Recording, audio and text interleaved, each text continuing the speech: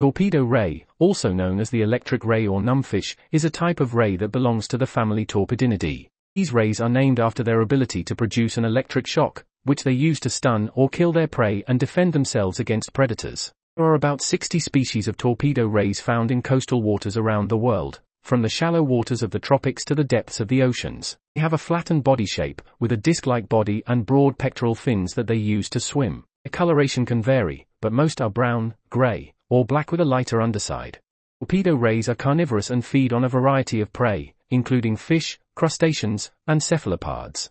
Use their electric organs to detect their prey and stun them with a shock that can range from a few volts to several hundred volts.